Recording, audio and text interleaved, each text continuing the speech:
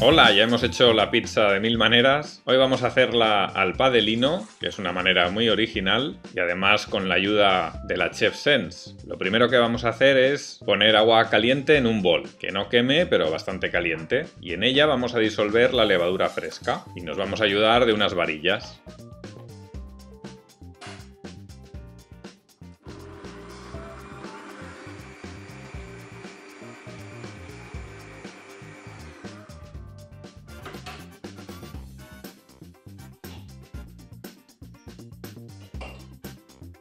Una vez está disuelta, añadimos un pellizco de sal,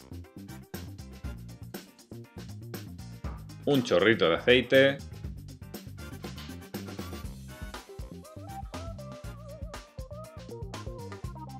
y la harina.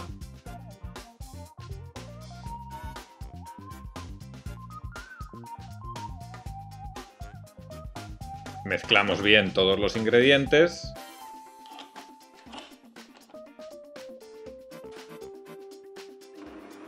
Y una vez tenemos la masa, la amasamos unos 10 minutos.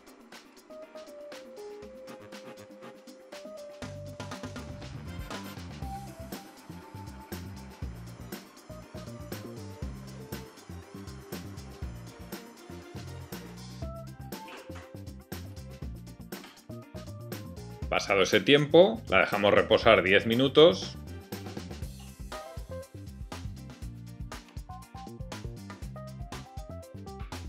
finalmente la amasamos 10 minutos más, con lo cual al final hemos amasado 20 minutos. Ya veréis que al principio será una masa pegajosa, pero a medida que avanzamos el amasado nos quedará bien compacta.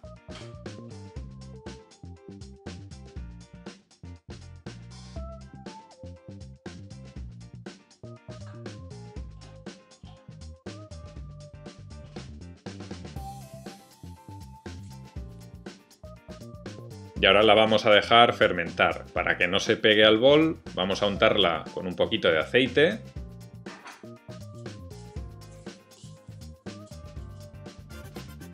Después la cubrimos con papel film o con un trapo húmedo y si es invierno la dejamos fermentar junto a un radiador y en verano en cualquier sitio. La vamos a dejar hasta que duplique el tamaño. Hay fermentación en frío, hay quien la deja 8 horas, yo la suelo dejar un par de horas. Pasado ese tiempo vamos a extenderla con ayuda de un rodillo. Enharinamos la encimera, es importante no utilizar mucha harina dado que no forma parte de la masa. Enharinamos también el rodillo para que no se nos pegue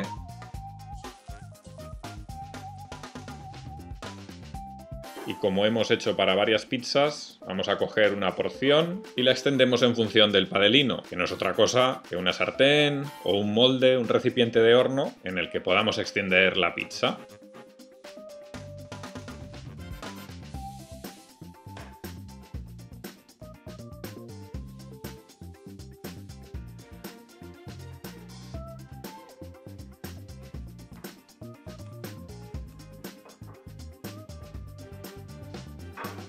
Tomamos la medida.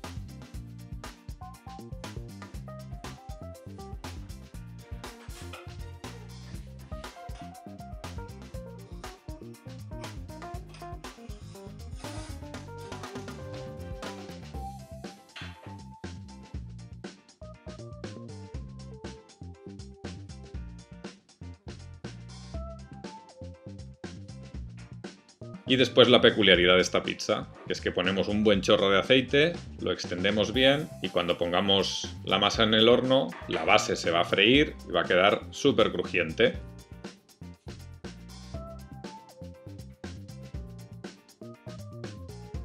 Para que recupere algo de volumen, vamos a dejarla reposar una vez puesta en el molde una media hora.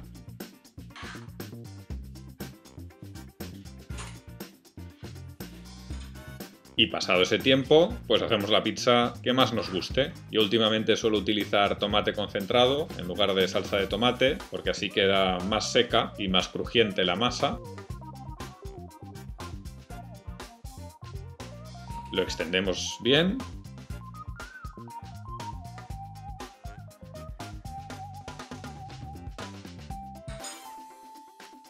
Después añadimos la mozzarella rallada. Ya veréis que también me ha dado por añadir al final ingredientes crudos. De momento, mozzarella rallada, después parmesano.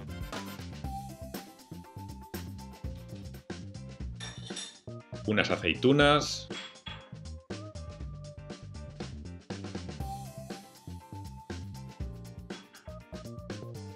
Como tengo orégano fresco, voy a ponerlo fresco.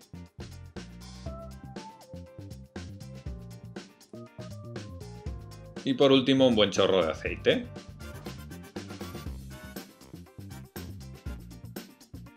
El horno está calentado a tope, con calor arriba y abajo. Vamos a dejar solo calor abajo y en función del horno pues tardará más o menos. Le vais echando un ojo. Seguro que no son más de 20 minutos. Y ahora como os digo voy a poner mozzarella cruda fresca.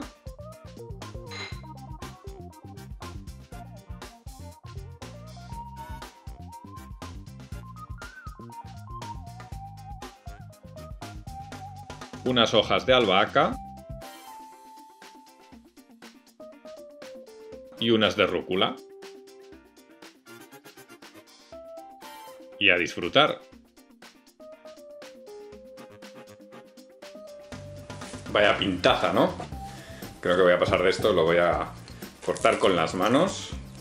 Ya veis, la base crujiente, que es la idea principal. Bueno, y vamos a probar.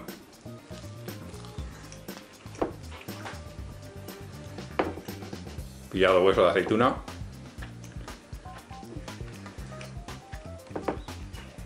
Lo más importante es que el horno esté muy muy caliente para que la base se, fría con el aceite, ¿no? Y la verdad es que queda, queda buenísimo. ¿Eh? ¿Quieres un trozo o qué? Sí. ¿Cuál, ¿Alguna quieres con mozzarella de esta? Sí. Yo me pillo la aceituna. Gracias.